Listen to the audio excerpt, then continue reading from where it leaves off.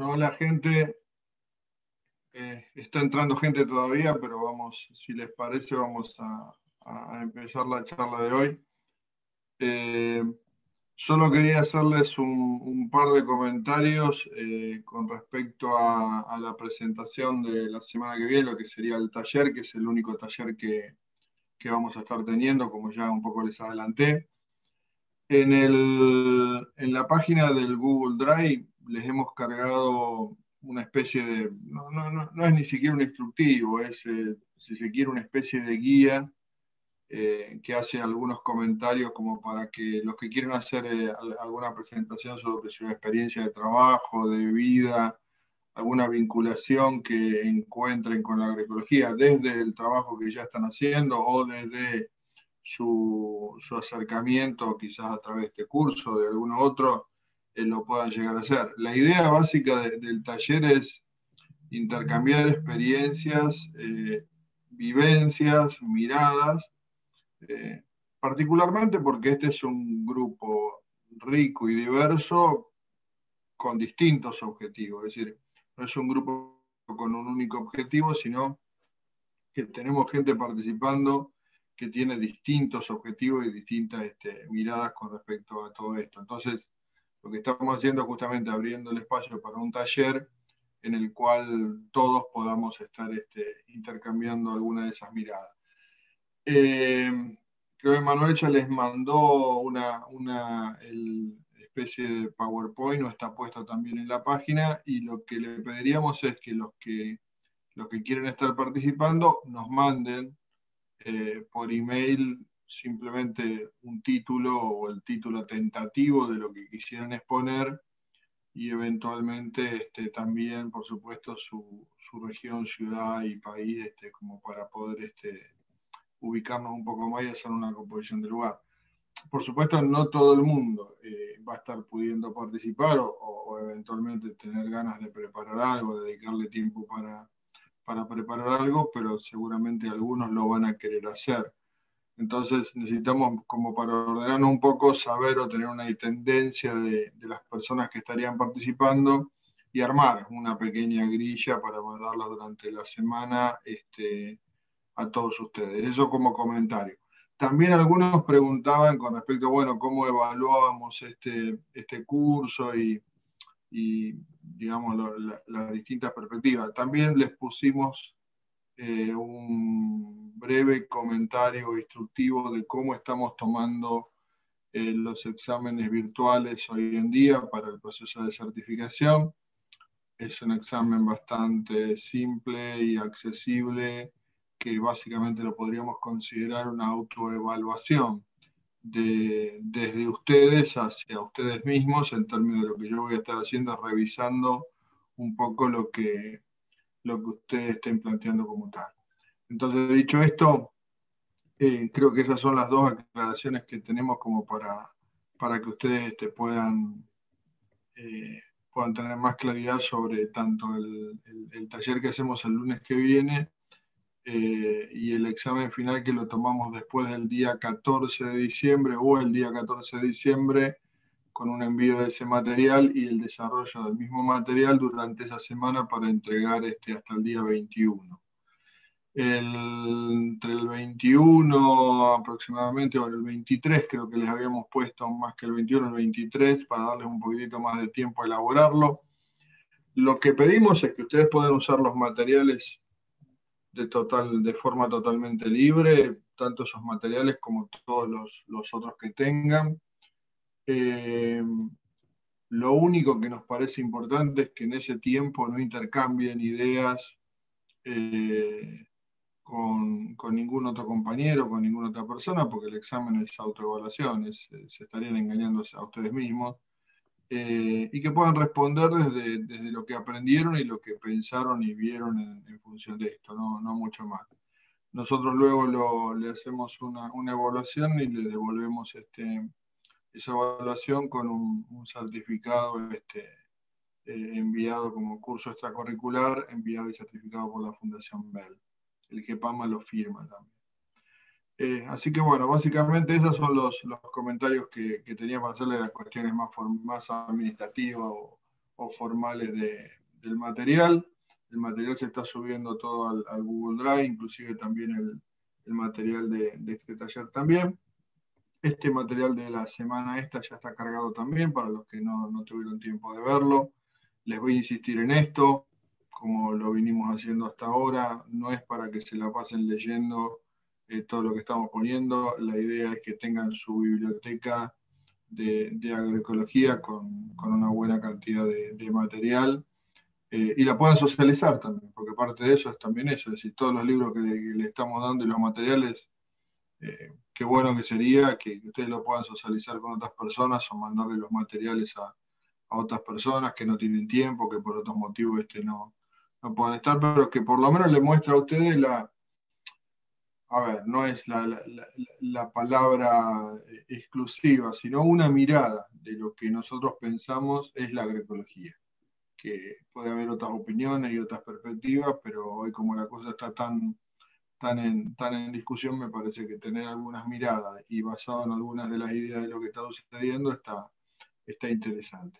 Así que dicho todo esto, les voy a estar pasando una presentación, después hacemos un, breve descanso y, luego abrimos el espacio para, el intercambio de, comentarios, preguntas, este, sugerencias, como venimos haciendo siempre, ¿sí? Si les parece.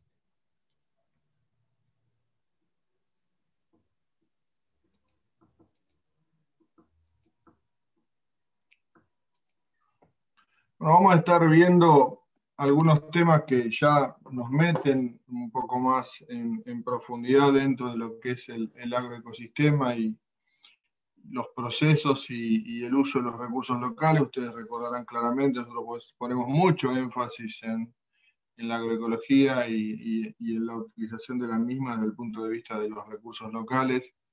Por eso también ya creo que queda bastante claro el hecho de que la agroecología de por sí responde a una perspectiva de economía social, de economía local también y fortalecimiento de esas capacidades.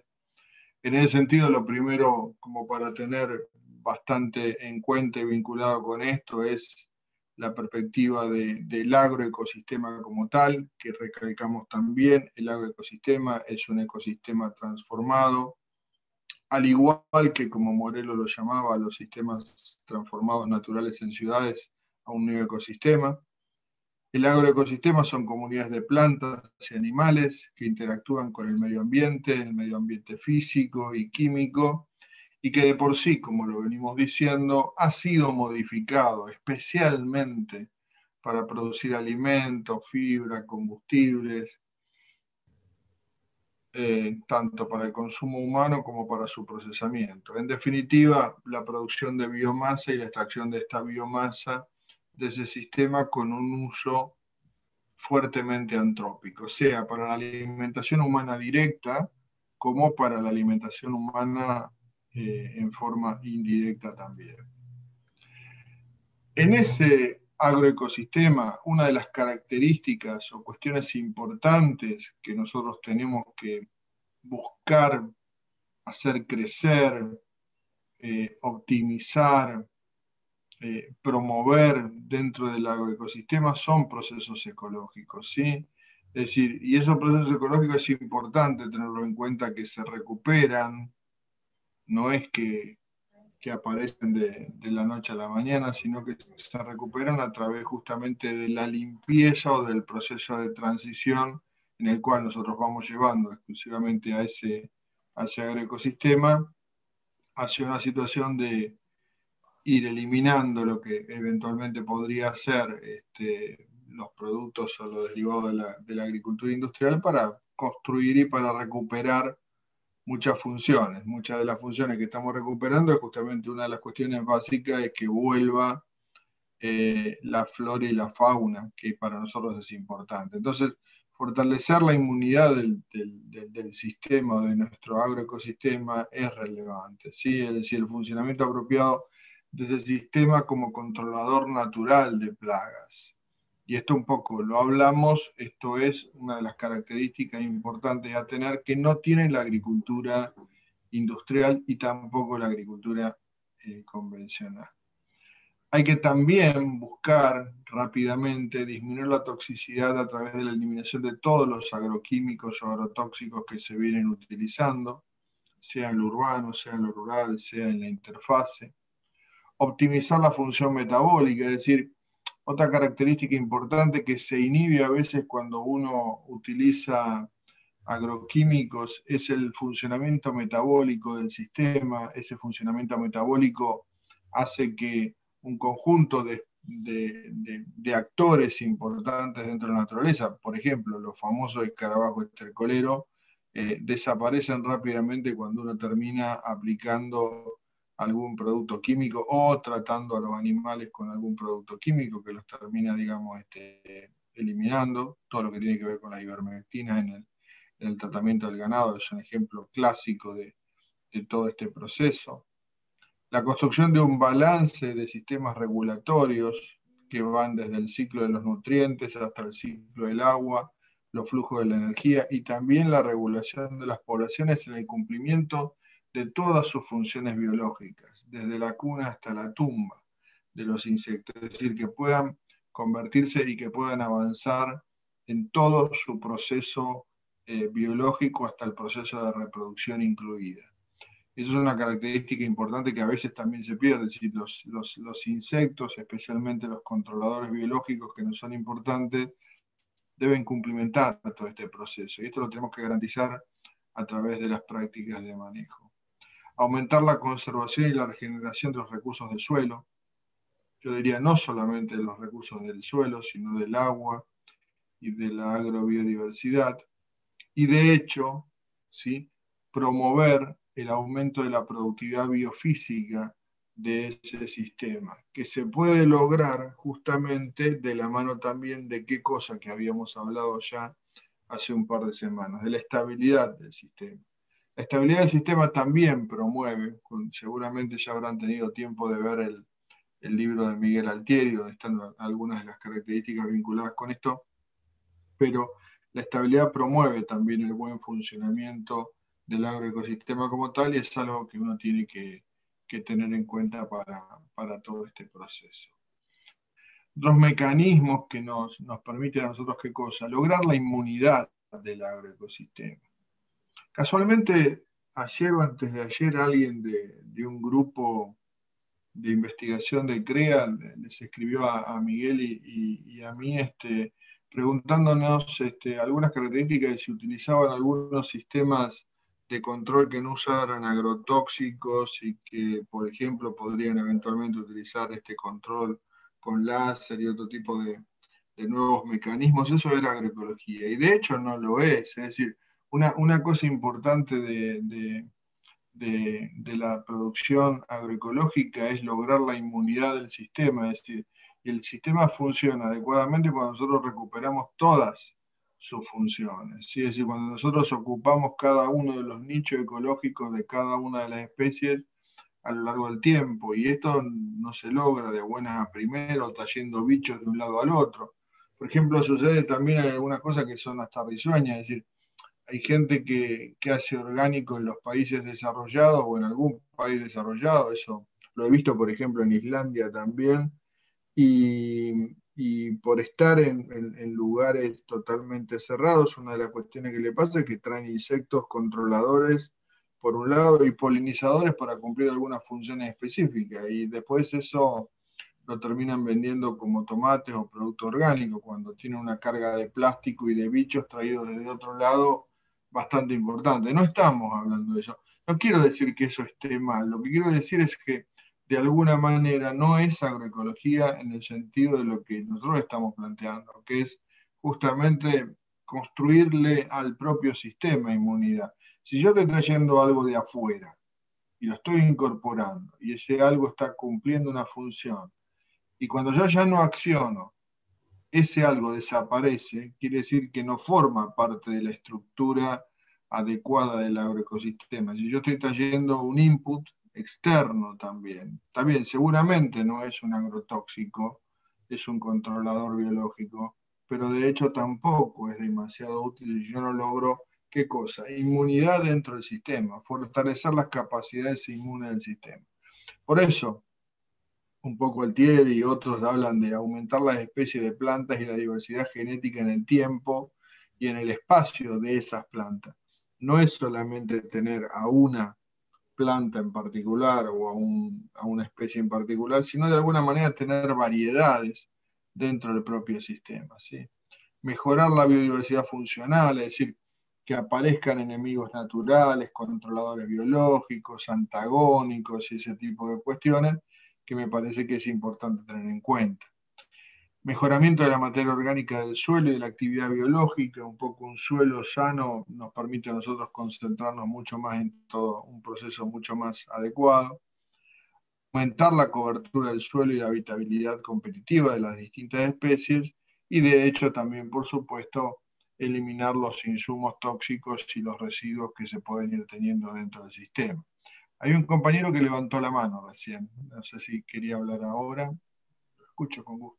Walter, hola, Daniel Enríquez aquí de Chile. Quería hacerte una consulta con respecto a lo que tú hablas, porque me llama mucho la atención.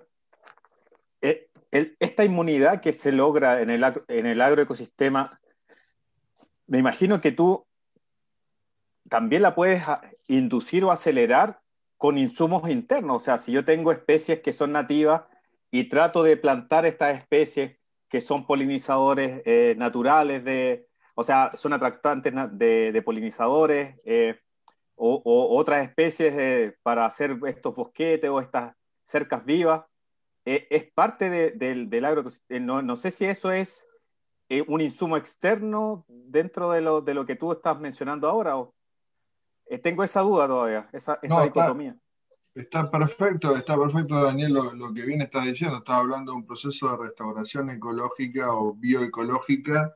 Y vos lo mencionaste, vos, vos estás hablando claramente también de traer especies o de acercar especies que son del propio sistema. Eh, no, no, que vienen a, cumplir o a ocupar un determinado nicho diferente, sino que forman parte de ese sistema, lo que significa que está perfecto que uno pueda ayudar justamente, uno lo que está haciendo cuando está de alguna manera generando inmunidad al sistema es empezando a, a forzar que se empiecen a ocupar los nichos ecológicos que se habían perdido. De eso justamente estoy hablando.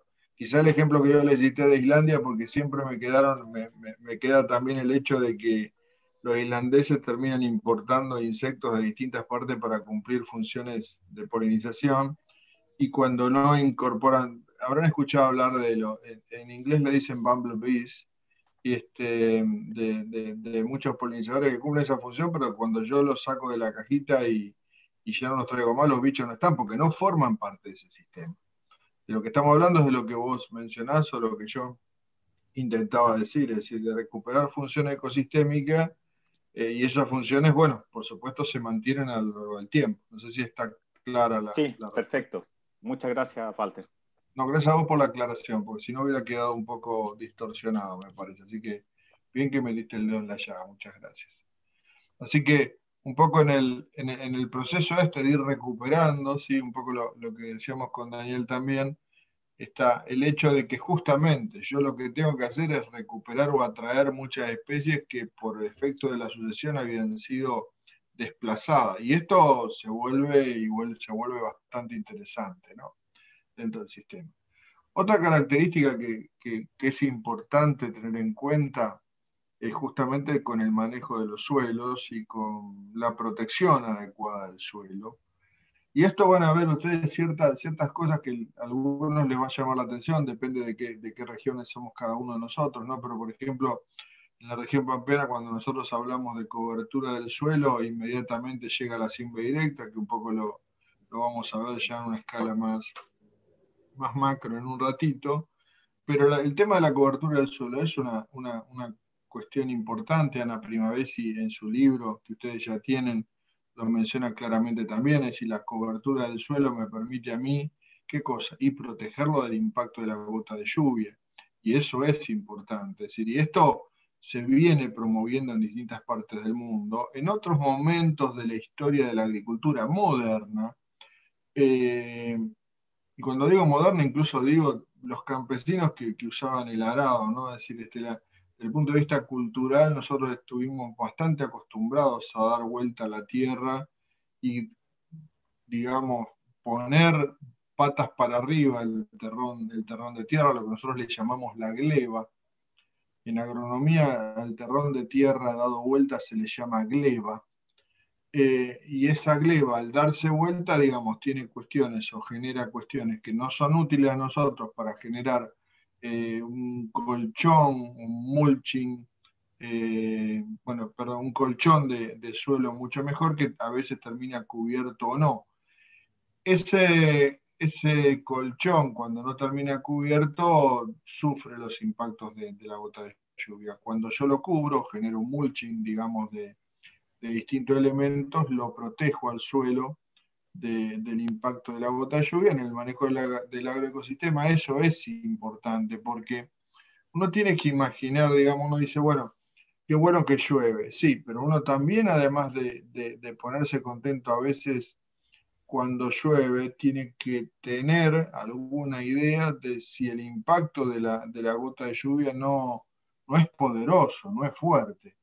Porque lo que termina pasando es que muchas veces puede suceder como ustedes pueden ver en la imagen, es decir, la gota de lluvia como tal puede pegar un impacto sobre el suelo que actúa como un balazo y ese balazo produce una distorsión del particulado, particularmente el particulado más fino del suelo, que de a poquito se termina moviendo y aumenta, en lugar de infiltrar esa gota, aumenta un proceso de escorrentía que, dependiendo de la pendiente de la que estemos hablando, también genera un olivo importante. Estoy pensando un poco en Chile ahora, que hablaba justamente Daniel también, y, en algunos lugares con pendiente donde hay un impacto fuerte y encima, a veces hasta grotesco, porque en, realidad no hay, no, no, no, llueve tanto, pero en el momento que llueve se produce, digamos, de una manera muy, muy intensa, la realidad es que nos termina llevando o arrastrando el particulado del suelo con un impacto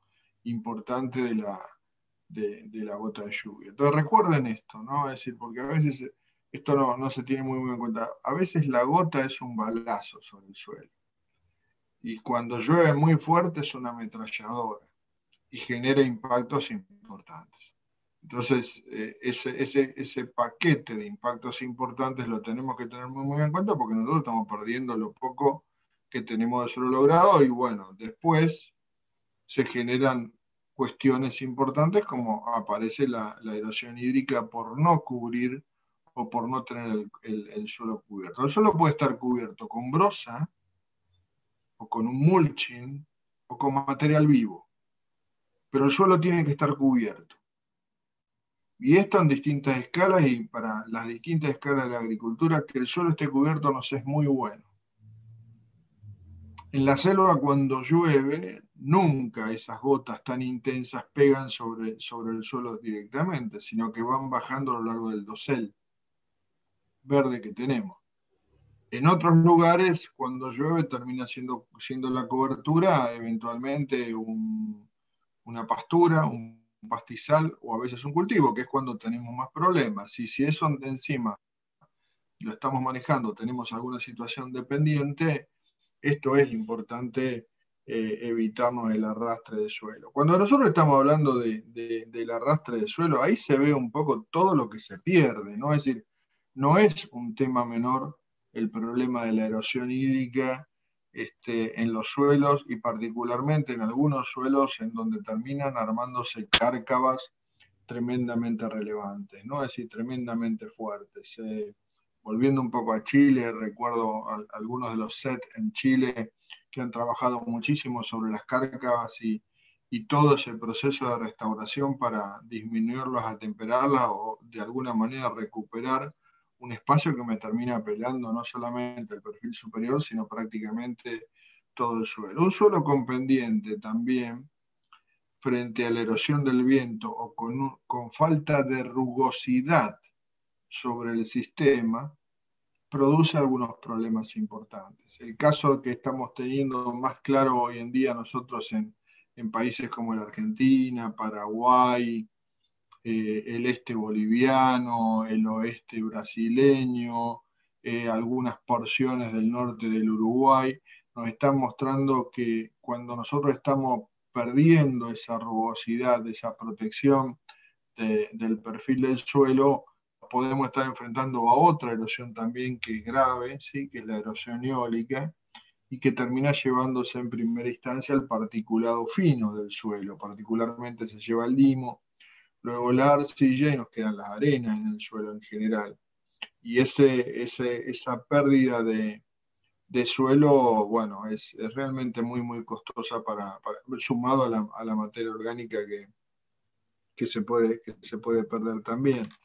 La cobertura de suelo es importante, sea en el modelo en el que estemos hablando. Por eso los de la agricultura industrial van por la siembra directa, pero por otros motivos que, ya hemos explicado, que podemos ampliar. Pero también es importante para nosotros mantener una cobertura de suelo con plantas, con material vivo, cuanto más se pueda, con mulching, material muerto, con cobertura, con paja, con brosa, es decir, pero de alguna forma evitar lo que acaban de ver en la imagen anterior que tiene que ver con el fuerte impacto de, la gota de lluvia sobre el suelo. Lo que se ve también es el avance de, digamos, este, claramente de efectos importantes sobre eh, el particulado y cómo se mueve ese particulado. ¿no? Es decir, y ahí tenemos una cuestión importante a, a, considerar y a tener, que justamente nos hace a nosotros ver eh, el hecho de que, bueno, un poco simplemente a veces mirando los alambrados, uno ve más o menos situaciones que lo, que lo vinculan con un proceso erosivo. En los, yendo un poco a la Argentina, hacia lo que se conoce como la, la pampa arenosa, de un lado del otro de un alambrado se puede ver perfectamente el manejo o no de un determinado suelo que ha sido cubierto, que ha sido protegido, de aquel que no lo ha sido. Y estas son consideraciones importantes como para tener, para tener en cuenta en términos de un proceso que puede combinar incluso cuestiones que vinculan erosión hídrica con erosión eólica, cosa bastante complicada, nos termina también llevando una buena parte del sistema. Entonces, nosotros en ese sistema y en, ese, en un sistema estable, este tipo de cosas no suceden porque uno las tiene protegidas cuando, bueno, un poco lo que les mencionaba con respecto a los alambrados, y lo que termina sucediendo cuando, bueno, el, material particulado está, está muy, muy por encima, muy por encima del aire. Eh, bueno, el aire. Una de las, de las cuestiones de, para recuperar agrobiodiversidad de nuestro sistema y la estabilidad de nuestro sistema tiene que ver con algunas funciones que mencionamos en la charla anterior, ahora un poquito ya las vamos a desarrollar un poco más en profundidad, que tiene que ver con las rotaciones de los cultivos. Podemos a eso sumarle las rotaciones agrícola-ganaderas. Y cuando digo agrícola-ganadero, vamos a ver de qué, de, de qué animales estamos hablando y dónde. Los policultivos, los sistemas agroforestales, los sistemas agropastoriles, los sistemas agrosilvopastoriles, que son de alguna manera el sumo de la, de, la, producción en algunos lugares, los cultivos de cobertura, hoy en día llamativamente parece también un descubrimiento para, para, algunos, ¿no? Es decir, que algunos lo llaman cultivo de servicio, porque además de dar cobertura prestan otras cuestiones, pero estos cultivos de servicio no dejan de ser nada más que, que justamente cultivos que, bueno, vienen siendo utilizados por la, por la agroecología de manera más que recurrente, ¿no? Es decir, para cubrir el suelo, para protegerlo de esta cuestión que les mencionaba yo sobre el impacto de la gota de, la gota de lluvia. Y, en ese sentido, bueno, los cultivos de, cobertura cumplen bien con esa función. Y de hecho también, por supuesto, la, integración animal, es decir, la participación de los animales dentro del sistema es importante. Inclusive si nosotros nos eh, sumamos a esta, a esta, esta cuestión o a esta, esta discusión eh, el hecho de, la discusión más profunda de, lo, que se, plantea sobre para qué los animales. Bueno, nosotros necesitamos bosta en el sistema. Este, y el animal después puede vivir feliz si se quiere, podrá tener, pero este, lo, que, lo que necesitamos es un bosteo importante. Y esa función realmente la cumple el animal como tal. ¿no?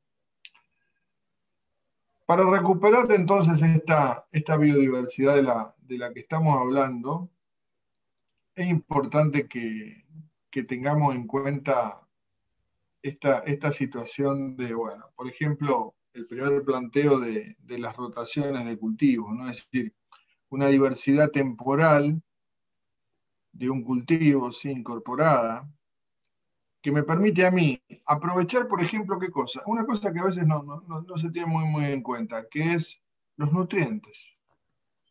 Y las plantas, solamente, solamente utilizando uno u otro cultivo, las plantas son tomadoras en muchos casos de distintos porcentajes de nutrientes del suelo, cosa que genera un balance bastante positivo. Otra cuestión que termina haciendo los, las rotaciones de, los cultivos tiene que ver con ayudarnos a nosotros a cortar los ciclos de plagas y de enfermedades, o de insectos plagas. Nos ayuda a cortar también eh, el ciclo de algunas malezas. Más allá de que las llamemos buenesas, puede haber alguna, alguna especie que a nosotros nos genera alguna acción competitiva y dentro del sistema puede servir como cobertura, puede servir como hotel, puede servir, digamos, con distintas funciones, pero si a veces se pone la cosa un poco brava, el hecho de tener una disponibilidad de maleza importante también es complicada. Entonces uno lo puede cortar ese ciclo simplemente con, con otro cultivo que cubra, digamos, el suelo o que lo cubra de otra manera no es lo mismo como crece una planta de trigo que como crece una planta de soja, no es lo mismo el grado de cobertura del suelo que genera una planta de soja con respecto a una planta de maíz, no es lo mismo una combinación de zapallo con una producción de tomate combinada, digamos, con alguna otra especie que sea más rastrera y que es tremendamente importante justamente para lograr la cobertura del suelo. ¿Qué es lo que hay también ahí atrás que también es realmente importante, que seguramente a ustedes les, les puede hacer este, o les puede generar una, atracción en el marco de, una, de, una, discusión de este tipo? ¿Qué, ¿Qué cosa puede haber detrás de, por ejemplo, una, una, una combinación de plantas rastreras que me terminan a mí generando una cobertura del suelo importante que me me protege el suelo del impacto de la gota de lluvia. ¿Qué otra cosa puede hacer esa planta cuando yo la, estoy teniendo sobre el suelo, cubriéndolo? Y me puede cambiar la temperatura del suelo. Sí, lo hace. Yo al lograr esa temperatura diferencial del suelo, con unos pocos grados de temperatura, puedo lograr que otra planta germine o no. Porque lo que tengo en ese suelo también es lo que se conoce como banco de semillas. Y ese banco de semillas, bien administrado, hay que aprovecharlo. Entonces yo con una cobertura o con otra, puedo aprovechar que emerja algún tipo de planta que a mí me interesa dentro de ese sistema. Entonces, el hecho de tener cubierto el suelo, plantas rastreras por un lado, plantas que crecen vertical, plantas que se apoyan sobre estas por el otro, es decir, hay una combinación de factores importantes. Otra cuestión, corto ese ciclo con otro cultivo que puede eventualmente venir, fenómeno. ¿Por qué lo corto? Para evitarme el ataque de alguna plaga o de alguna enfermedad, fenómeno. ¿Qué es lo que pasa? Posiblemente la plaga no encuentre la posibilidad de, de reproducirse, la enfermedad no encuentra, digamos, eh, el, hospedante en el cual ir y atacarla y se corta ese ciclo, no la estamos destruyendo. Es decir, están en el sistema esas plagas, esas enfermedades, están, pero están en un nivel que no alcanza, como vamos a ver en la, en la charla subsiguiente al taller, que no alcanza lo que se conoce como nivel de daño económico. Entonces, ¿para qué le voy a estar metiendo cosas encima si realmente no tiene ninguna utilidad que yo termine destruyendo ese sistema como tal? Entonces, ya de por sí la práctica del manejo y las rotaciones agrícolas-ganaderas, como se plantean, las rotaciones agrícolas, como plantea, como se puede plantear en la, permacultura, eh, es un aspecto importante. Fíjense que es sencillo.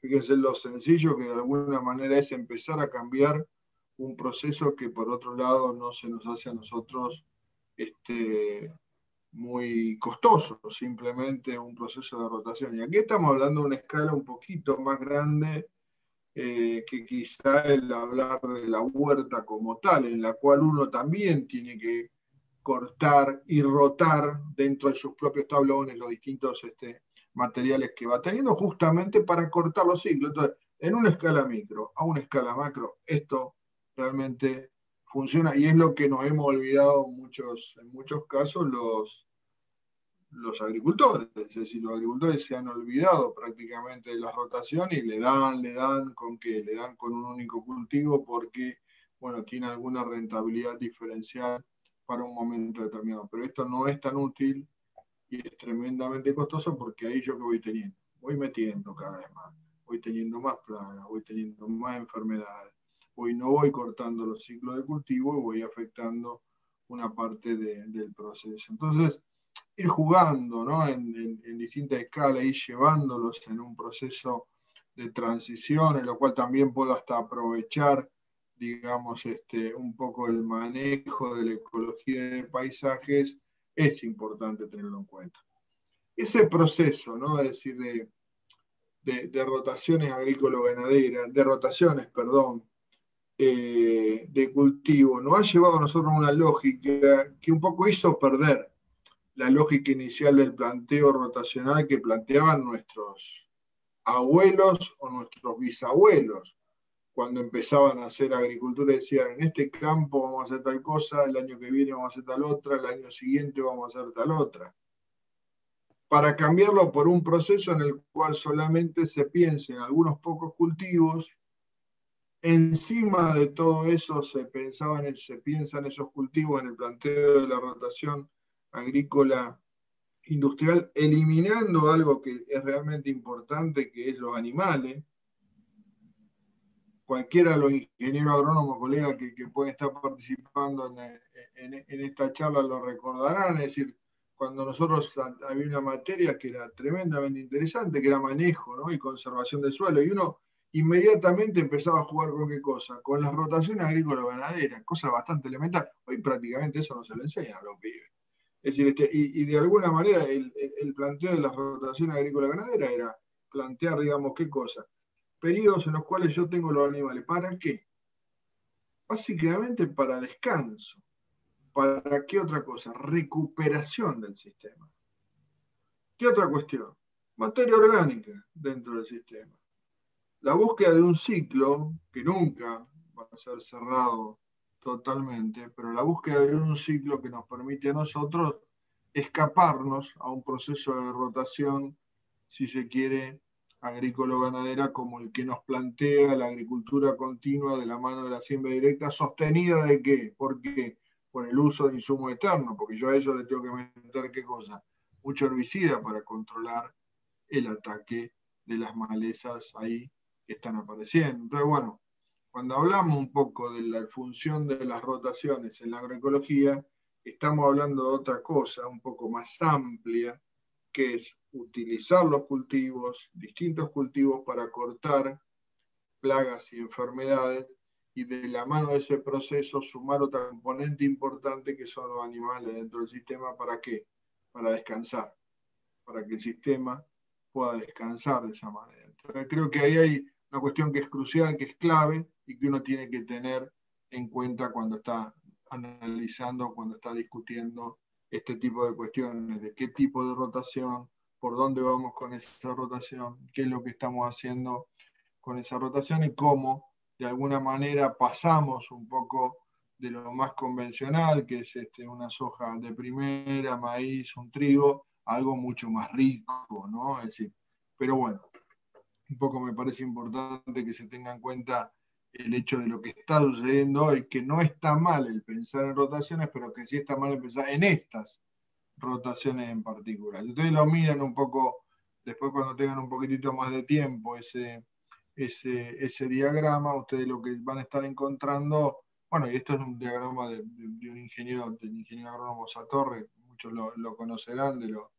de los CREA o de, la agronomía, con una mirada muy convencional de, promoción de las posibilidades de la siembra directa y un poco eh, en un circuito que sí es verdad que alerta también sobre los costos que se pueden llegar a tener cuando uno simplemente se plantea una rotación trigo-soja de manera recurrente, ¿no? Es decir, que es realmente lo más costoso, pero que es lo que los agricultores más han seguido también por una cuestión bastante fuerte que tuvo que ver por el manejo este, financiero del sistema. El proceso de agriculturización, es decir, dentro de este proceso de rotación, nos aleja también a nosotros de qué cosa, y bueno, de la importancia que, tiene que tener un establecimiento o el funcionamiento de un establecimiento eh, mixto, que tiene rotaciones, de que pasa de pasturas a agricultura. Yo tengo la pastura por un motivo, que es para los animales. Eh, y bueno, vieron en la charla anterior, como yo le mostraba, cómo realmente habíamos perdido superficie de pasturas de la mano de la agricultura, de, la mano de la, llegada de los cultivos eh, más industrializados. Y que también les hablábamos sobre lo que se conocía como el proceso de refinación de campo, que bueno, nos hizo perder un proceso importante dentro de todo esto. ¿no? Es decir, bueno, no, voy a, no, no los voy a meter mucho dentro de lo que es el sistema ganadero como tal, pero que un poco responde a la cría y a la invernada, y esto tiene mucho que ver después con la generación de las pasturas y de los elementos para poder alimentar eh, a estos animales, que bueno, muchas veces, a veces eh, los que están más en, nuestra región saben cómo se genera ese proceso de llevada de animales de una parte a la otra para suelos que no soportan una carga importante de animales que necesitan una alimentación mucho más este, más, desarrollada y lo sacan de la pampa deprimida hacia, hacia otras regiones. Otra cuestión, un poco dejando ya el, tema de, las rotaciones, tienen que ver con otra componente que también es realmente muy, muy importante y que, que también nos, nos, parece importante cuando estamos hablando de la, de la escala en la cual nosotros nos estamos manejando, que tienen que ver con, el tema de los policultivos, ¿no? Es decir, y los policultivos son una combinación, de alguna manera, una combinación, ya un poquito cambiamos la categoría y vamos avanzando más en la, en la combinación de, distintos cultivos en un mismo momento, ¿sí? en un mismo espacio temporal, ¿sí? y en un mismo espacio físico, ¿no? Entonces yo puedo combinar o promuevo la combinación de cultivos, que pueden ser dos o más, ¿sí? De especies que son plantados en la misma superficie, muy vinculados, muy próximos unos a los otros, ¿sí?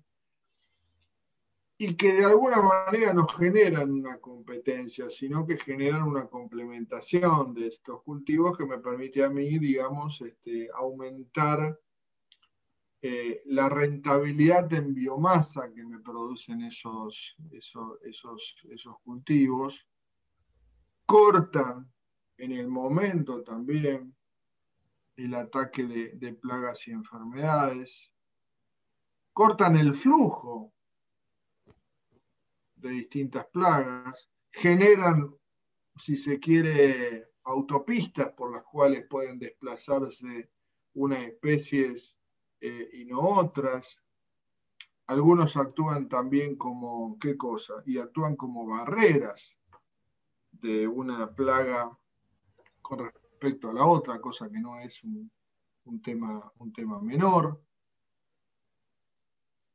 En definitiva, los policultivos vienen funcionando y funcionan muy, muy bien. Una de las críticas que se les hace eh, cuando esto se maneja en una escala más macro, más grande, eh, tiene que ver con el momento de la cosecha, ¿no? Es decir, pero bueno, empiezan a haber ya maquinarias no tan grandes que permiten, digamos, generar este, la cosecha de un cultivo y luego el crecimiento del otro y así o si estamos trabajando ya en el manejo de policultivo a nivel de, de producciones hortícolas, esto es mucho más sencillo porque el trabajo, digamos, este, es más manual. Entonces, bueno, en definitiva, el, el hecho de los, de los policultivos son otra componente importante como para, para tener en cuenta de nuestro sistema. Otro de los sistemas que mencionábamos tiene que ver con los sistemas agroforestales. Un sistema agroforestal es un sistema agrícola donde los árboles proveen funciones de protección y también productivas, cuando estos crecen junto con los cultivos anuales y con los animales que pastan debajo, resultan en aumento de las relaciones complementarias entre los componentes, incrementando el uso múltiple de ese agroecosistema. Los cultivos bajo cobertura inclusive a nivel de selva, los compañeros de, México seguramente conocerán o habrán visto todos los documentos de Patricia Moguel y de, Víctor Manuel Toledo, incluso la discusión actual que hay también, ¿no? Es decir, con todo el trabajo promovido por la propia vía campesina en el término de la producción de café bajo cubierta, este, son otros ejemplos interesantes para tener en cuenta. En estos sistemas uno aprovecha también la producción de madera con otros fines. Esa madera termina, digamos, sirviendo, digamos, para, con, distintas alternativas, producción de biomasa, producción, este, producción de leña, producción de carbón, estructuras para la venta comercial, es decir, un montón de, factores adicionales dentro de eso, manejo de, de animales también en los cuales se pueden incorporar dentro de estos policultivos este, dentro de estos sistemas agroforestales este, este tipo de, cuestiones. Justamente el caso del tema del café bajo cubierta, ¿no? Es decir, protege a la planta eh, de una manera eh, interesante, si se quiere, del sol directo. Muchos argumentan que ese café es de una calidad muy especial le suma materia orgánica dentro del sistema, que le suma nutrientes, disminuye, especialmente lo saben también, es decir, mucho de este café se produce en zonas de ladera, lo que significa y ayuda, por un lado, a anclar el suelo dentro del sistema y por el otro lado, a disminuir los procesos de la erosión hídrica, disminuye el impacto de, las gotas de lluvia, como, como veíamos, aumenta la infiltración del sistema, genera un proceso de, ciclamiento, de, ciclado de, los nutrientes y del agua muy especial. Y en definitiva, ese café bajo cobertura también tiene un valor adicional tremendamente importante que es promovido, empujado, defendido eh, por pueblos originarios. Entonces hay mucho café agroecológico, eh, mucho café de este tipo.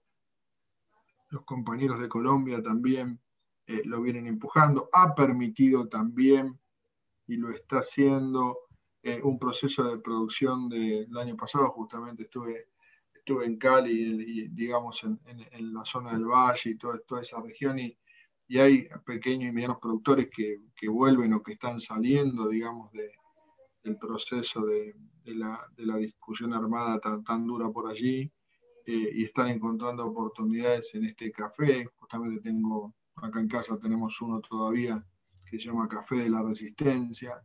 Y, ese café, ese sistema de producción bajo, bajo cubierta, eh, permite este tipo, este tipo de cuestiones. Algunos son muy fuertes desde mi punto de vista, en términos de gusto, ¿no? es decir, parece muy, muy fuerte.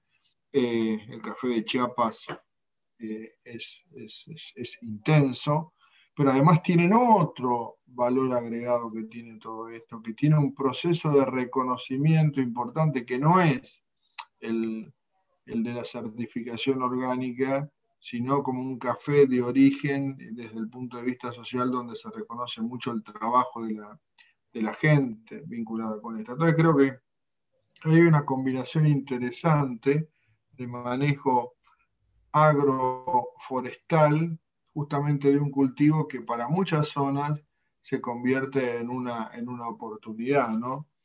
Otra oportunidad es lo que estábamos diciendo también, ¿no? es decir, es el, el manejo agrosilvopastoril, en la cual el animal también encuentra una, una, utilidad y se, la encuentra claramente justamente para manejarse en áreas de, de heladera, para poder postear bien en el sistema. Los árboles cumplen una función adicional para los animales que también son importantes. ¿Y cuál es? Sombra. Sombra.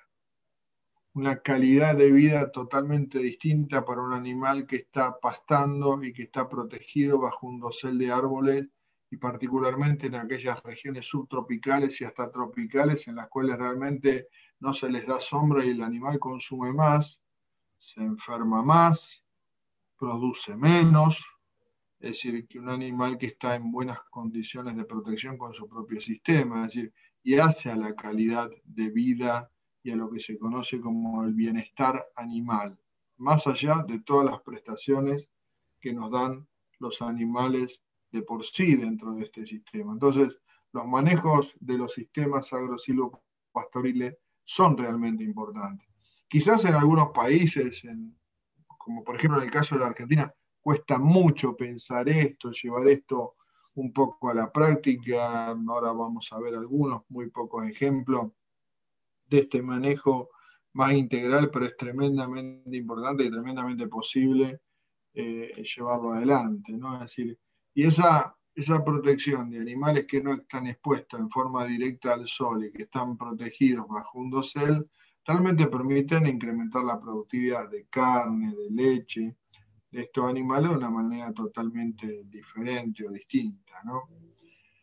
Un poco Murgaitío, que para mí es la referencia en América Latina de manejo adecuado de sistemas agrosilvopastoriles, y ahí un poco les, les puse un dato que también tienen cargado en el, sistema para que puedan comparar lo que son los sistemas agroforestales de un sistema eh, forestal solamente, terrible, a un sistema agrosilvo-pastoril que realmente incorpora un conjunto de variables importantes que tienen una diversidad realmente muy, muy fuerte. Y que fíjense ustedes en términos del enriquecimiento del sistema, cómo pasamos de, por ejemplo, lo que yo les mencionaba en el ejemplo anterior, es decir, pasar simplemente de un sistema que puede ser un policultivo, me termino diversificando a mí este, un par de, cuestiones nada más, a un sistema en el cual estamos incorporando cultivos anuales, al que le estamos incorporando también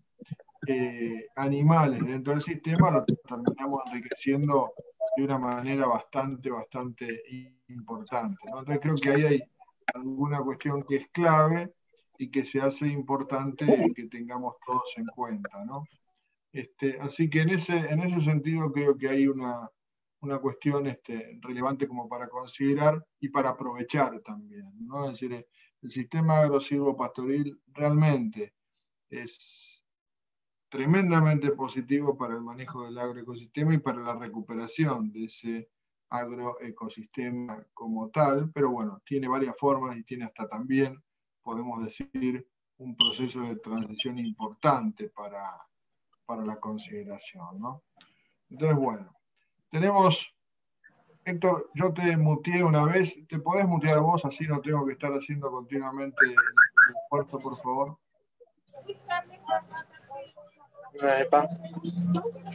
Tres soles.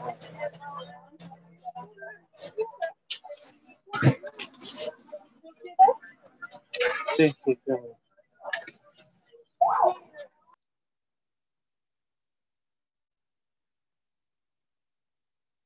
Bueno, vamos a seguir. Como se lo pedimos una vez y siguió así, lo tuve que sacar del sistema, si no, no podemos seguir charlando. Y otra, otra cuestión que tenemos en el, en el medio también es justamente cómo los animales aprovechan, ¿no? Es decir, el animal ya no solamente pastorea, sino que de alguna forma también aprovecha mucho del verde que tienen distintas eh, plantas y especies que terminan creciendo dentro del sistema. Todo lo que ustedes están viendo en términos de imágenes, es un trabajo tremendamente interesante desarrollado en Colombia.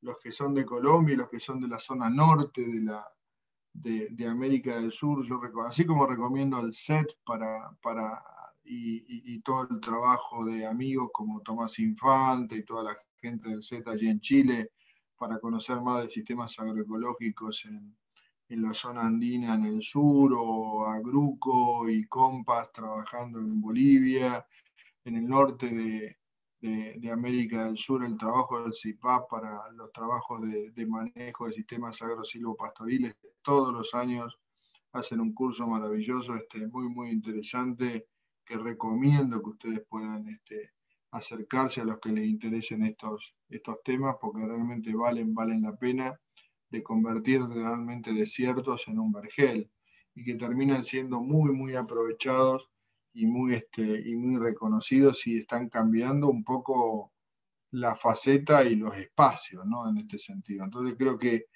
pararse ahí en, el, en, la importancia del reconocimiento de la funcionalidad de, de los sistemas agrosilvopastoriles y cómo un poco ir planteando ese manejo que podríamos eh, llamarlo de restauración ecológica. Zoraida Calle, la, esposa de Murguetío, eh, trabaja exclusivamente en sistemas de restauración agroecológica a lo largo del tiempo, es decir, no son proyectos de, de corto aliento, sino proyectos realmente muy, muy extensos que llevan décadas y que realmente muestran cambios importantes y cambios también en la sociedad que está teniendo esa transformación. ¿no? El caso de Colombia eh, y los ejemplos que hay en Colombia son realmente muy, muy importantes. El tema pastoril es importante y no para cambiar las culturas. Es decir, acá tenemos justamente, yo un poco lo pongo muy, muy a propósito, muy adrede, porque los Masai no son un pueblo agricultor, son un pueblo, si se quiere, un pueblo ganadero, se mide por la cantidad de ganado que, ellos tienen, es una cultura que responde también a cierta ganadería de transhumancia, aprovechando distintos espacios dentro de todo esto. Ahí ustedes ven un, joven en Masai, digamos, tomando, tomando leche de los eh, digamos, este, ordeñando a un animal, pero también esto es, muy cultural, es tremendamente importante. De esto se alimentan los niños, las niñas masai, esta combinación de leche y sangre que se combina con el animal aporta una proteína importante para estas comunidades. Hoy día todo esto está también amenazado, amenazado porque los espacios que ellos tienen también para para cierto tipo de producciones alternativas están siendo desplazados, amenazados porque ya no los dejan llegar a brevar con sus animales este, a sus zonas tradicionales. Por ejemplo, en, el Valle del Rif los Masai migran de manera permanente y van a ciudades como Nakuru para, para este, poder hacer que sus animales este, abreven. Ahora ahí hay ocho lagos realmente grandes, búsquenlo después ¿Y qué se van a encontrar? Se van a encontrar que está produciendo, esto es ecología política, que se está produciendo qué cosa en esa zona. Están produciendo flores. ¿Y flores para qué? Para, para los keniatas no, están produciendo flores para exportar a la Unión Europea, porque en aproximadamente unas siete horas de, vuelo las flores llegan, digamos, este, fresquitas a los mercados europeos y se terminan eh, vendiendo allí. Entonces, les están quitando el agua, no están teniendo acceso al agua a sus animales. Ese desplazamiento está generando también conflictos internos importantes y prácticamente una afectación a una cultura también importante que es nómade, que se, digamos que, que se sustenta en estos animales y que estos animales también generan un servicio importante de bosteo a lo largo del tiempo. Muchos granjeros, muchos agricultores que no son masai, quieren que los animales de los masai pasten y pasen por ahí, porque de alguna manera le dejan el espacio enriquecido cuando los nutrientes realmente están faltando. Yo creo que ahí hay una, cuestión importante a, tener en cuenta. Otro aspecto también que nos, sirve a nosotros para ayudar a recuperar la agrobiodiversidad en nuestro sistema son los cultivos de cobertura. Es decir, el uso en forma pura o mezclado de distintas plantas y leguminosas eh, junto con gramíneas en general o con otras especies frutales perennes con el fin de recuperar la fertilidad del suelo, aumentar el control biológico de las plagas, modificar el microclima de nuestro sistema, es útil como tal y es algo a tener en cuenta y es algo muy conocido y muy demostrado y hoy en día con los procesos que nos vinculan a la agroecología nosotros eh, más todavía. Entonces creo que ahí hay otra componente importante como para, para que tengamos en cuenta sobre los, las ventajas y los servicios de los cultivos de cobertura, que un poco yo lo, lo mencioné previamente. ¿no? Es decir, por un lado tenemos todo el hecho de la construcción de suelo, de por sí lo tenemos, es decir, el cultivo de cobertura me aporta a mí una cantidad de brosa, que recordarán cuando vimos el tema de suelo, en la parte superior ese horizonte O orgánico se nutre de esa brosa y la actividad, digamos, este, bacteriana mejora las relaciones carbono-nitrógeno, y esas relaciones empiezan a aportar una materia orgánica creciente dentro del sistema, retienen para sí esos cultivos de cobertura que van a estar un tiempo ahí, los nutrientes dentro del sistema, controlan eh, el impacto de la gota de lluvia, lo que me permite a mí disminuir la erosión, reducen la emergencia, porque lo que hacen es competir, es decir, toda planta compite por recursos. ¿Cuáles son estos recursos? Luz, agua y nutrientes. Si yo quito la luz del sistema, aunque haya agua y nutrientes, las semillas no germinan porque saben, leen, lo detectan, ¿sí? que en realidad, bueno, hay otras, por supuesto no es así, no, no, es una cuestión psicológica, sino que hay un montón de, factores que permiten que las semillas este, no germinen porque los datos desde su ambiente le están diciendo que no, una alerta de que no germinen porque no van a encontrar qué cosa. No van a encontrar luz. Entonces, bueno, otra de las, de las componentes importantes vinculadas con esto tiene que ver con la disponibilidad o no de luz dentro de ese sistema. Unos cultivos de cobertura y un trabajo lindo que se está haciendo, seguramente la, gente de aquí, de aquí de Santa Fe, recuerdo también en otras zonas de la provincia de Buenos Aires, todo el trabajo de los cultivos de cobertura y el rolado también de estos cultivos que permiten ¿sí? proteger el suelo, mejorar, dar servicio, usemos la palabra también, este, que está tan de moda hoy en día, a través de un rolo que termina, digamos, volcando eh, el material y generando una cobertura importante de, de ese suelo. Entonces creo que ahí hay una componente que también se hace importante se nos hace importante a nosotros para, para considerar dentro de este, de este sistema. Entonces creo que ahí el tema del rolado y el trabajo del rolado, y bueno, todo lo que se está haciendo ahora, ¿no? es decir, hay pequeñas eh, maquinarias que se están desarrollando en ese sentido, que bueno, que terminan siendo importantes este, tenerlas en cuenta.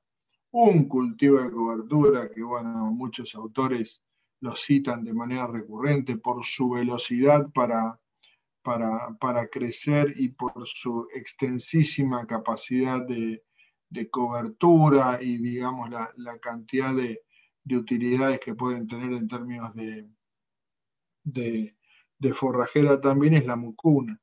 Y, particularmente para las zonas más este, de regiones subtropicales, quizás más al sur no, no está tan este, utilizada, no lo sé, pero este, creo que no pero sí en las zonas este, subtropicales es muy, muy, muy utilizado porque aporta una cantidad de biomasa en muy poco tiempo que termina cubriendo al suelo velozmente. Y esto creo que es una, cuestión importante, como vengo diciendo, a, tener en cuenta. Fíjense ustedes la altura del material con la, la, altura del Señor y cómo uno de alguna manera puede ver rápidamente cómo esto se extiende en términos de toda la el material que me termina generando a mí esa cobertura. Ese suelo con esa temperatura también, digamos, está eh, protegiéndose justamente una temperatura muy, muy fuerte. Y a esto un poco le, agregamos lo que, lo que estábamos mencionando, ¿no? es decir, la, la, integración de los, de los animales dentro de nuestro agroecosistema. La integración del animal en el agroecosistema se permite alcanzar y llegar a una importante producción de biomasa, es decir, hay un reciclado muchísimo más, más importante, es decir, el proceso de bosteo sobre el sistema, el funcionamiento biológico del sistema cuando yo no estoy aplicando tratamientos en los animales que terminan, digamos, este, afectándolos o que terminan, digamos, este, controlando de alguna manera este, el ataque de alguna enfermedad dentro de ese animal, pero que terminan, digamos, matando prácticamente con la bosta, terminan este, muriéndose montones de, insectos benéficos, desaparecen los escarabajos estercoleros, es decir, de alguna manera el papel de la bosta dentro de ese sistema. Hoy, antes en, en los barrios, este, pasaban los caballos y juntábamos la bosta para, poner las macetas, ¿no? Es decir, hasta en las propias ciudades. Hoy en día eso ni siquiera sucede, pero eso es una cuestión cultural muy, muy importante y cuanto más bosteo tengo dentro del, del sistema, de alguna manera mejor. Eh, ese aprovechamiento y la incorporación del animal dentro del sistema ayuda justamente a reciclar parte de ese proceso. Entonces creo que hay una componente importante y que no es solamente importante de este lado del mundo, sino en prácticamente todo el mundo con distintos tipos de, animales y, relación de esos, de esos animales en los sistemas de producción o con los animales que tengan la capacidad de carga en sus determinados sistemas, que pueden ir desde los cuilles hasta las llamas, por ejemplo. Es decir, el trabajo de los cuilles también y del material que se va juntando debajo, o el trabajo de las gallinas también, ¿no? Es decir, especialmente cuando el contenido de fósforo que terminan aportando eh, en sus áreas de, de influencia, si se quiere, es realmente muy valioso y es realmente muy, muy aprovechado como tal. Creo que ahí hay algo, algo también importante a considerar en este, en este sentido. Es decir, para la gente de la zona andina eh, es muy común y ver al, quiz y, el quiz este, eh, en esa zona, por supuesto, es un animal más que es un animal comestible. Para la gente de, de otros países o de otras regiones, por ejemplo, seguramente los argentinos, quizá por primera vez, algunos, ¿no? Están viendo los quizzes, los demás al sur, y los recuerdan como una mascota. Este, bueno, nosotros también tuvimos nuestra mascota para nuestro hijo, nosotros somos Pengue de apellido y nuestras mascotas se llaman Pingui y Pongo. Pero bueno, este, más allá de, la cuestión esta, básicamente muchas, muchas, este, muchos grupos, especialmente donde no se puede tener una carga de animales grandes justamente por las limitaciones físicas del sistema, el aporte de proteína proviene de los juicios. Especialmente estoy hablando de toda la zona andina, Bolivia, norte, norte de Chile, el Perú, el Ecuador. Es, es importante tener en cuenta estas consideraciones, ¿no?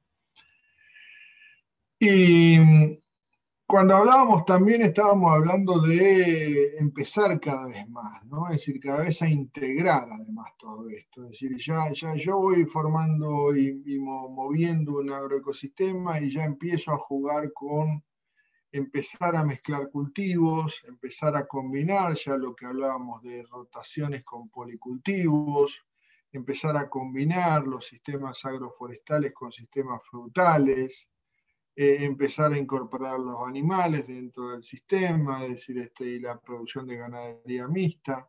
A eso, otras cosas que, que no hablábamos hasta ahora, pero que es, por ejemplo, particularmente importante incorporar la piscicultura, la piscicultura local, el aprovechamiento, si se quiere, de los peces locales. ¿sí? Es decir, hoy en día seguramente los compañeros que nos están escuchando desde el Ecuador, lo podrán explicar después quizás en el intervalo, si, si tienen un momento, si tienen ganas de comentar el efecto de la tilapia, ¿no? Si estoy hablando justamente de la producción de la tilapia desde la zona o hacia la zona amazónica, es un pez que, ha entrado muy fuerte dentro del sistema. La gente cree que, eh, en algunos casos, la gente cree que, la tilapia es un, es un pez local, pero lo que ha hecho es desplazar a prácticamente todos los peces locales, pero se ha formado también una cultura de, alimentación en la cual en cualquier barcito, restaurante, este, en, tu viaje, cuando vas hacia, desde la zona, si se quiere, de montaña hacia, hacia la Amazonia, te vas encontrando con lugares con pequeños estanques de peces donde las señoras producen tilapia.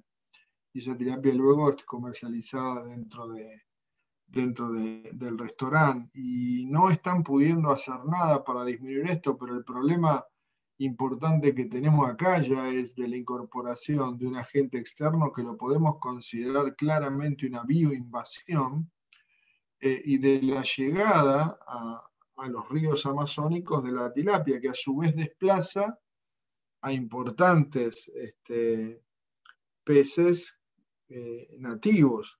Por supuesto que la tilapia es, si se quiere, hasta más fácil de comer, eh, se la puede consumir de una manera más cómoda, tiene menos espinas que quizás otros peces o lo que fuera, pero es un problema eh, importante hoy planteado en esa, en esa región, que no están pudiendo superar y que no sé cómo, cómo se podrá hacer, pero el tema de la, de la incorporación de estanques de peces dentro del sistema de producción es importante tenerlo en cuenta. Algo similar está pasando, pero ya con peces locales, eh, por suerte, que se están haciendo estanques de peces en provincias como Formosa, El Chaco, eh, Corrientes, eh, Entre Ríos, combinando, digamos, con otros factores, como un poco estamos diciendo, potenciar o generar sinergia dentro de ese agroecosistema para la producción de proteína animal, ¿no? Es decir,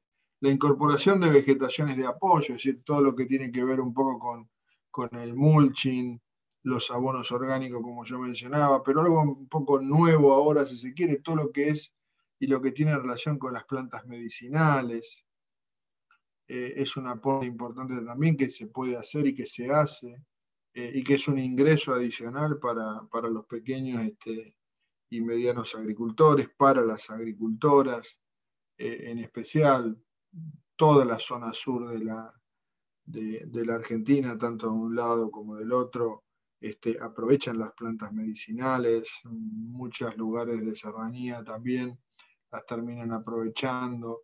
Y la incorporación siempre, ¿no? Siempre, es decir, de la, de la diversidad y la variedad en términos de lo que conocemos como bueno, multilíneas, eh, que nos permite a nosotros escapar al ataque de plagas y enfermedades. De vuelta, estabilidad del agroecosistema, protección del agroecosistema le da inmunidad a ese ecosistema. Cuanto más enriquecido está, yo ven como ven, de a poquito, tranquilamente, se la voy complicando, pero de alguna forma esta complicación de, manejo del agroecosistema tiene que ver con la potenciación de un proceso que es importante y que no es, la agricultura no, no es justamente algo sencillo. Han tratado de simplificarla, pero bueno, que tiene en toda esta diversidad y lo que vinimos viendo eh, previamente, un aprovechamiento importante a, todo esto. Una cosa es por arriba, otra cosa también es por abajo, porque así como nosotros generamos diversidad en la parte superficial, lo que tenemos que también es lograr diversidad en la parte subsuperficial, es decir, a nivel de las raíces, generar un entramado que genere o que actúe a distintas profundidades para generar o lograr qué cosa? Una extracción selectiva de nutrientes a distintas alturas. Eso me permite a mí, ¿qué otra cuestión? La utilización diferencial de los nutrientes y el aprovechamiento diferencial también de la humedad disponible. ¿Qué otra cosa? la utilización de la intensidad de luz y de la humedad del aire que, que uno va a tener disponible en la parte superior.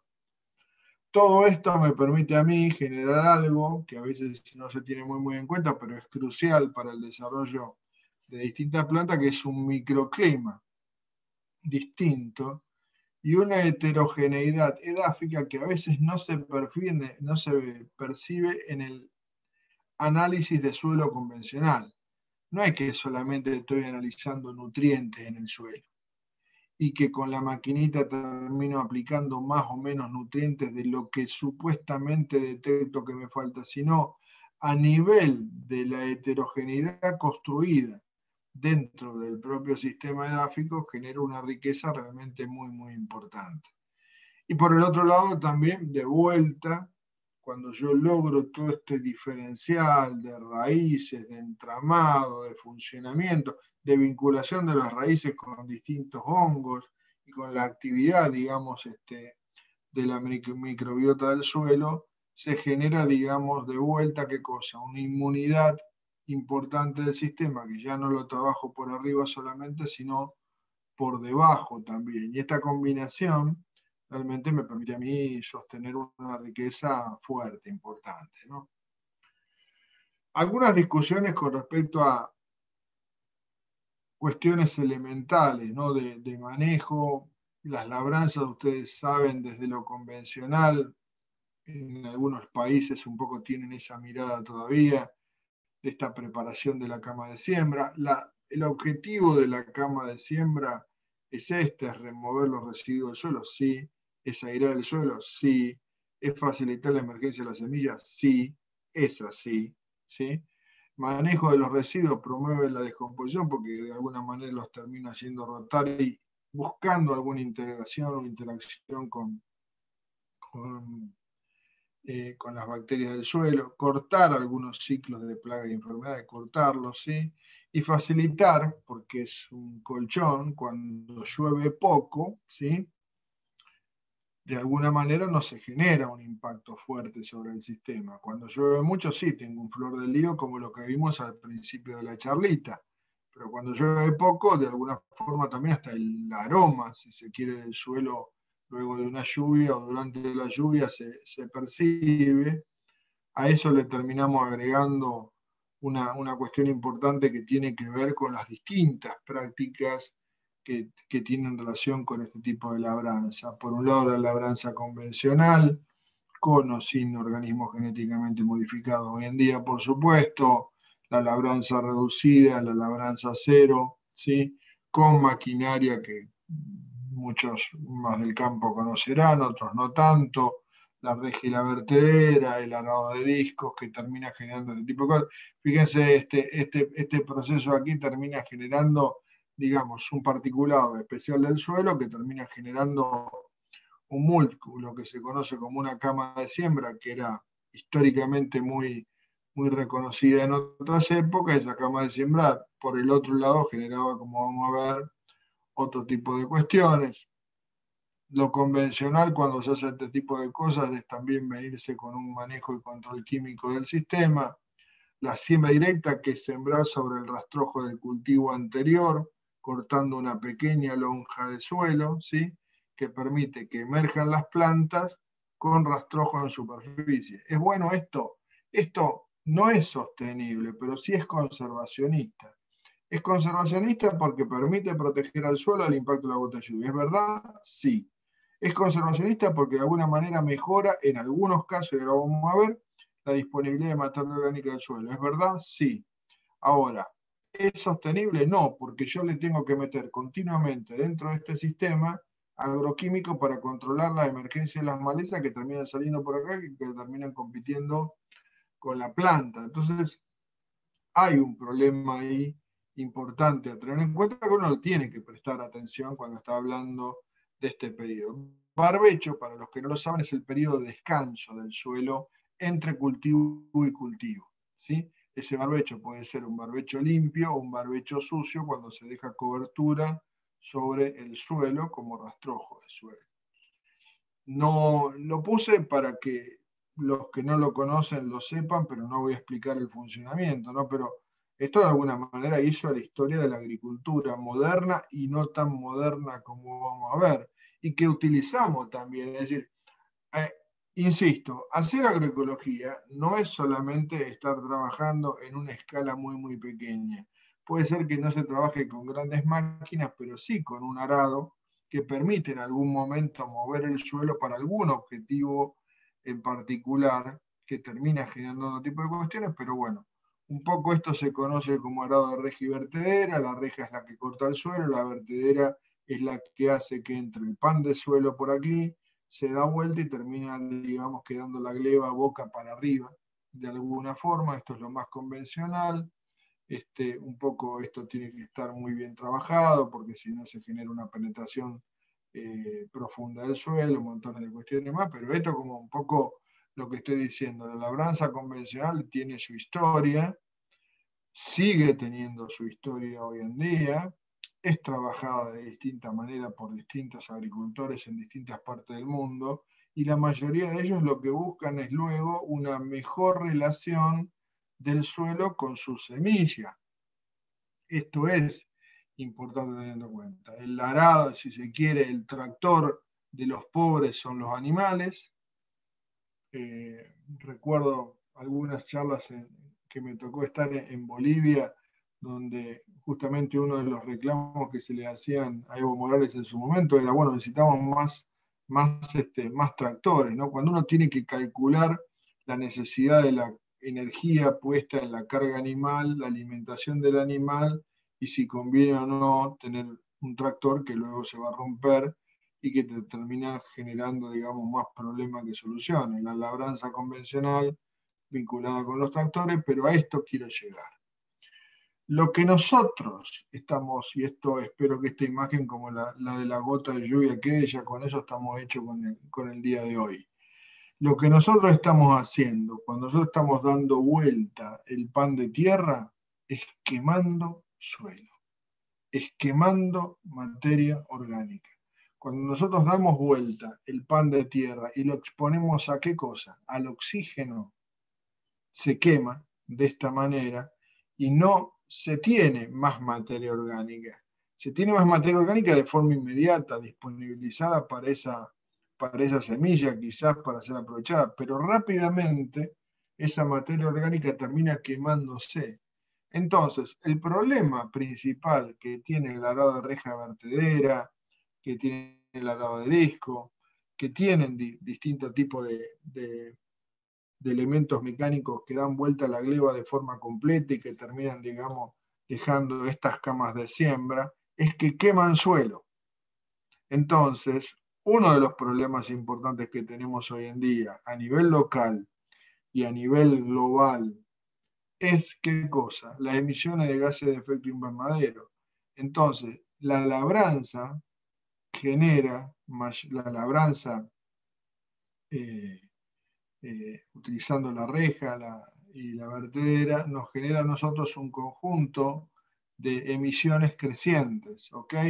Entonces, este es el problema. El suelo tiene que estar cubierto. Si el suelo está cubierto y uno va abriendo una pequeña lonjita de suelo para colocar la semilla, o generando un policultivo, produciendo, poniendo distintos tipos de semillas, nosotros nos vamos evitando este tipo de problemas. Y ojo, porque esto realmente es realmente un flor, flor de problema, y es una, cuestión que tenemos que tener muy, en cuenta. Cuando uno está hablando de, esta, de estos temas en particular y del manejo que se tiene con la siembra directa, tenemos que reconocerle a los tipos que la siembra directa es conservacionista. Ahora, porque protege al suelo del impacto de la bota de lluvia, no genera que se produzca este quemado de materia orgánica que sale hacia la superficie, disminuye las emisiones de gases de efecto invernadero, pero en el caso de la agricultura convencional o de la agricultura industrial, lo que me termina haciendo es un lío bárbaro porque por el otro lado genero el uso de más y más herbicidas para controlar las malezas. Pero fíjense por el otro lado, yo puedo hacer todas estas prácticas sin el uso de agroquímico y generar, digamos, un trabajo con una grada de vertedera o con, o con, un, o con un disco, y lo que estoy haciendo también es daño. Porque en rigor de verdad lo que, lo que está pasando acá es que estoy generando una cantidad de emisiones de gases de efecto invernadero tremendamente fuerte que me disminuyen la cantidad de materia orgánica dentro de ese suelo. Entonces es importante que uno lo tenga en consideración, lo tenga en cuenta este factor porque es uno de los factores más, más relevantes que hacen a la discusión que estamos teniendo sobre este, sobre este tema. Entonces creo que ahí hay algunas cuestiones. Muchos han tratado de evitar estas cuestiones, en lugar de remover el suelo, utilizar un vibrocultivador, utilizar un cincel que viene también este, vibrando dentro del sistema y que genera, digamos, una, una rotura del sistema que no da vuelta la gleba dentro de ese sistema. Otro del arado de disco cumple un poco la función distinta lo que yo les mencionaba con respecto a eso. Solamente, digamos, generando una labranza convencional con respecto a una labranza mínima, nosotros estamos recuperando porque estamos teniendo un poquitito de más o de mejor condición de materia orgánica dentro del suelo comparado con la otra que no lo tiene. Y algunas comparaciones uno las puede ver, digamos, en los ensayos que se hacen para distintos tipos de, de labranzas también. La siembra directa como tal, un poco creo que lo hablamos, la siembra directa significa justamente sembrar sin remover el rastrojo del cultivo anterior. Se ve claramente acá. Ustedes tienen rastrojo del cultivo anterior, que cuando uno lo mire dice, ¿qué es esto? Bueno, acá se ve claramente que esto fue maíz, que viene del cultivo anterior, que quedó cubriendo el suelo. Lo pueden ver en mi libro sobre cultivo transgénico, toda esta, esta secuencia de, de distintos cultivos que, que se van utilizando, que a lo largo del periodo de barbecho controló las malezas que están por ahí, que uno la puede ver, por ejemplo, alguna maleza que está metida por ahí, ¿sí? que la controlaron con, agroquímicos, ¿sí? esto es lo malo, pero que por el otro lado permite cubrir el suelo con, con, con rastrojo. Fíjense que cuando uno mira esto, uno dice, bueno, acá yo tengo un rastrojo de maíz. ¿Es abundante? Sí, es abundante. ¿Necesito esa abundancia dentro del suelo? Sí, la necesito. ¿Cuánta biomasa me permite, me aporta, digamos, este, por hectárea el maíz cuando yo lo termino, digamos, este, cosechando? Estamos hablando de 3.000, 4.000 kilos de biomasa que permite cubrir el suelo. Si la superficie es plana como la que ustedes están viendo ahí, no está percibiendo, está encontrándose con una superficie que permite cubrir el suelo de manera pareja, que si no hay pendiente, el material no se, no se viene, no viene bajando, entonces se queda en su lugar, pero si hay pendiente, el material se termina yendo, ¿sí? Y que después le termina uno pasando, si es de forma industrial, una máquina de siembra directa que está preparada, diseñada especialmente. Los argentinos han sido pioneros en, el asunto de la siembra directa, entonces hay, las parejas, por ejemplo, se, construye maquinaria agrícola especializada para, para esto. Eh, tiempos históricos, es decir, estamos hablando más de 25 años atrás que se, se vienen haciendo máquinas para, para este tipo que se, se venden a todo el mundo. Esa máquina lo que termina haciendo es abriendo un surco en el suelo, en lo que ustedes están. En ese surco terminan depositando la semilla y bueno, también un fertilizante sintético, pero esto eh, eh, el funcionamiento, ténganlo en mente para las dos cosas, yo le explico por qué, y termina colocando un fertilizante que quizás a, a distinta altura dentro del sistema. Viene detrás dos, dos, dos, si se quiere, dos aletas que terminan como acariciando parte de, de, la tierra suelta que queda, tirándola sobre, sobre la semilla, y detrás de eso viene una ruedita tapadora esa ruedita es una ruedita tapadora que termina empujando el suelo y a veces dos rueditas laterales que terminan apretando. Entonces, una rueda tapa desde arriba y dos aprieta. Entonces se produce un contacto firme, fuerte, entre la semilla y esa pequeñita porción de, tierra disponible que hay, que es lo que luego ustedes ven en esa siembra de cultivo de soja que, que se ve ahí. Lo mismo se hace también, digamos, si uno hiciera una soja agroecológica en un manejo de, siembra directa. La única diferencia es que no, no estaría aplicando herbicida para su control. ¿Puedo controlar maleza? Sí, sí, puedo controlar la biomasa que tengo cubriendo el suelo. ¿Sí? Es decir, ¿por qué? Porque con esa biomasa bien puesta, ¿sí? termino cubriendo el suelo. ¿Qué otra cosa puede hacer? y esto como un consejo para los agricultores que están en transición, ¿no? Pero puedo achicar la distancia que hay entre las hileras. en lugar de sembrar a 70, puedo probar de sembrar a 52, puedo achicar un poco más todavía, ¿para qué? Para que rápidamente el cultivo siguiente cubra el suelo, y al cubrir el suelo, ¿qué hace? Compite rápidamente con las malezas para evitar que no haya llegada de luz, y al no llegar luz, la maleza no emerge. ¿Ok? Es manejo puro eh, el sistema, pero que se puede llegar a hacer perfectamente. Entonces, tenemos que tener en cuenta eso, como también tenemos en cuenta las otras prácticas de siembra, ¿sí? Que aprovechan muchas de estas cuestiones, como bien dice claramente el libro de Ana Primavera, para el manejo de otro tipo de siembra, digamos en cultivos, en una escala más pequeña, en parcelas más pequeñas, pero que terminen aprovechando la brosa, hincando, digamos, este, eh, el material en el suelo, poniendo la semilla y luego pisándola, cosa que hay material histórico como para mostrar.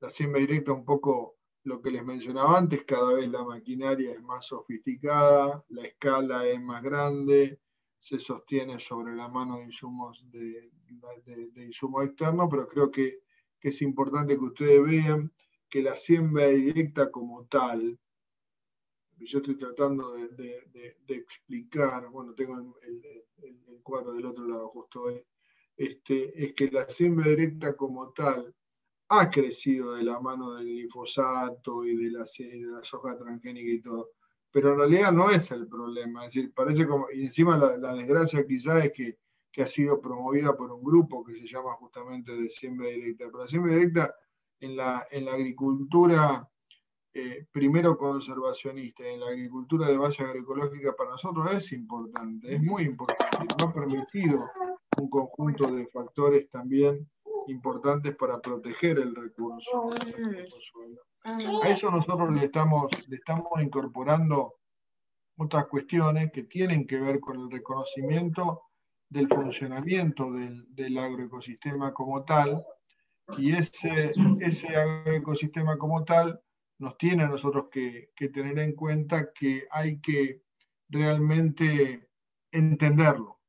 Y en ese entendimiento básico, la recuperación de las funciones del agroecosistema son vitales en el manejo del agroecosistema y de la agrobiodiversidad de ese sistema. Es decir, cuando yo elimino por un lado los agentes externos que me terminan afectando ese sistema y por el otro termino, digamos, potenciando el hecho de, de, la recuperación de los controladores biológicos, ganamos todo. Si recuperamos esa agrobiodiversidad, mucho más todavía. Si eso lo integramos a las rotaciones agrícolas-ganaderas, a las rotaciones de distintos sistemas, incorporamos lo que un poco explicábamos acá, que podemos hablar si, si tienen alguna pregunta sobre los sistemas agropastoriles, la importancia que tienen los sistemas eh, agro, eh, agroforestales, el papel de la relevancia que se tiene con respecto a la cobertura del suelo, creo que hay un inicio de comprensión de la importancia y de la complejidad, por otro lado, que tiene el sistema biológico como tal. Y por último, un poquito lo que yo les mencionaba con respecto a los pros y los contras, no todos los contras, o por lo menos no hablemos por boca de ganso, cuando estamos hablando críticamente de toda la siembra directa, cuando en realidad hasta con los libros de Ana Primavesi, por ejemplo, que es la madre del manejo del suelo, para nosotros es importante tenerlo en cuenta. Es decir, no estamos hablando de superficies con grandes extensiones, sino de un manejo adecuado de esa superficie para poder tenerla, para poder sostenerla, para poder protegerla de una manera totalmente distinta a la que tenemos en la, agricultura convencional. Entonces, dicho un poco esto, estas son las, las primeras, si se quiere, abordajes que se tienen con respecto a ya manejos que cambian la escala, ¿no? Es decir, por eso nosotros inclusive en el curso de agroecología decimos, no, la, la, agroecología no es solo hacer la huerta, la huerta es una componente, de, digamos, de un proceso agroecológico mucho más amplio en el cual todo suma para la, producción de alimento y para la producción de biomasa, pero esto lo tenemos que tener muy, muy en cuenta para, para poder comprender otros procesos si les parece. Bueno, si también si les parece, descansamos un poquito para que me descanse un poquito la garganta eh, y charlamos este, un ratito después, en el, después del intervalo. Nos tomamos unos 10 minutitos más o menos y, vamos volviendo a la clasecita en 10 minutos, ¿sí? Así que bueno, nos vemos en 10 minutos.